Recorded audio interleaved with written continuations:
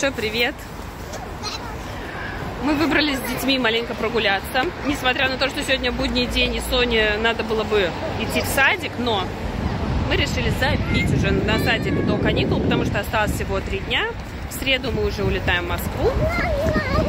И решили не рисковать, не ходить, не цеплять инфекции в садике. В общем говоря, и утром абсолютно было лень вставать, поэтому на садик мы забили. Вот. И Тима поделал маленькие уроки, он тоже обленился, вообще не делает уроки, не занимается. Но вот я его сегодня заставила хотя бы послушать видеоуроки. И мы выбрались гулять в Сакура парк у нас здесь Нинбо. Сегодня так морозно, смог, но это нас не остановило. Ну, вон там красивая площадка. Сейчас мы идем туда гулять с нашими друзьями. Ну, как тебе площадка, Тим? Это, видимо, символизирует цветок сакуры или что, бутон какой-то. Соня вон счастливая, в сад ее не отправили, носится как колбаса.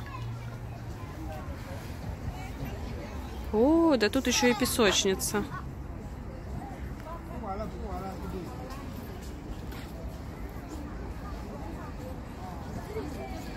А в этом парке мы гуляли с вами весной и смотрели на то, как цветет вишня.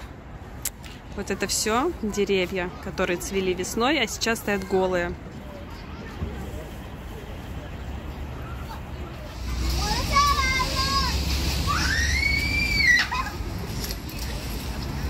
Супер.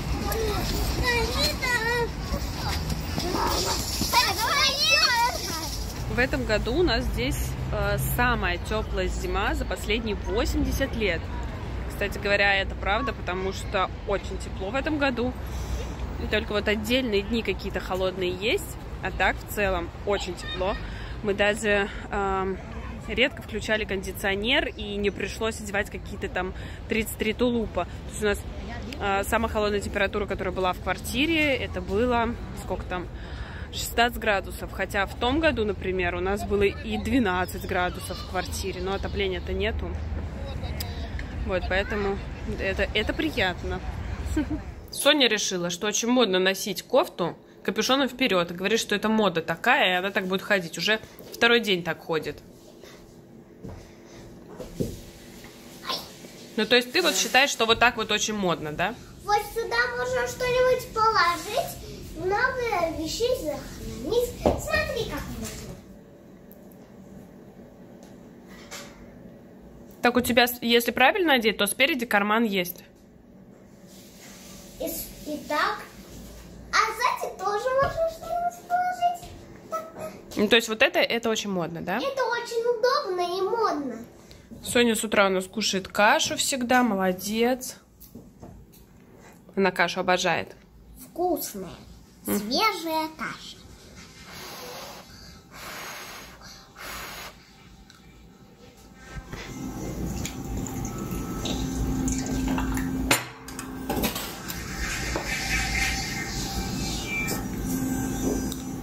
Вот, а Тима у нас вырастил грибы.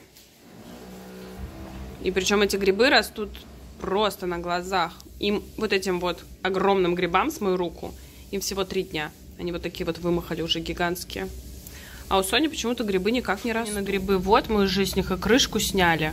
И тряпочку мокрую им кладем, но они вот такие крошечные и никак не растут. Какое самое любимое развлечение детей после Нового года? Смотри, мне две такой. Конечно же, считать конфеты.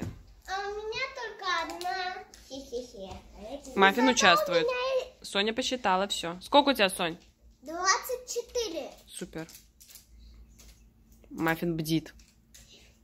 Вдруг что дадут, да, Мафия? Вдруг что дадут? Очень маленькие конфеты. И быстрее прописать. Да, у нас начались трудовые будни. Тима очень не хотел заниматься, да, Тим? Ага. Разленился за выходные. приходится. Приходится, а что делать? Еще вчера постригся, так модно. Покажи прическу. Повернись. Вообще, Тима. Модник, сковородник. Давай, пиши. Сегодня вот у нас четыре страницы прописи. Он будет прописывать букву Ё. Не 4, а 5. Пять даже? Да. Букву Ё. И краткая. Да, вот йо и краткая. Да, пять страничек. Давай, Тима. Дяйоу. Что такое? Купила подарки для своего двоюродного брата. Он хотел что-нибудь вкусненькое из Китая. Сейчас будем смотреть, что же я ему взяла. Давай, разматывай. Давай, высыпай. А, смотри, что нам Синсин дарила. Да, вот такие вкусные желейные конфетки из натурального сока. Мне, мне кажется, это самое вкусное, что здесь есть. Овощи и фрукты сушеные. Написано микс. Но я не знаю, что тут в составе. Можно посмотреть. Угу. Банан, батат, джекфрут, таро. Э, вот. Потом вот такая вот любимая китайцами закуска. Там орешки какие-то, горох, что еще здесь, я не знаю. Ну, в общем, пусть пробует человек. Вот, а вот это вот э, соевые бобы, из которых делают тофу со вкусом краба. И сухофрукты, самая наша тут знаменитая, это Ян Мэй. И вот она высушена и в сахаре. Потому что свежую Ян Мэй, конечно, перевести невозможно. Вот в таком виде пусть попробует. Решила себе замутить маникюрчик.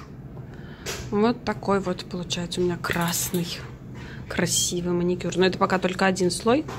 Сейчас сделаю еще один, будет красиво. У тебя же такой нет. такой. Тима из конструктора сделал скипетр державу. Покажите. Вот. Я ими могу дубасить, кто плохо ведет. Думаешь, для этого нужна скипетр держава? Нет. На самом деле... Дай мне. Класс, Тима. Ты мастер просто.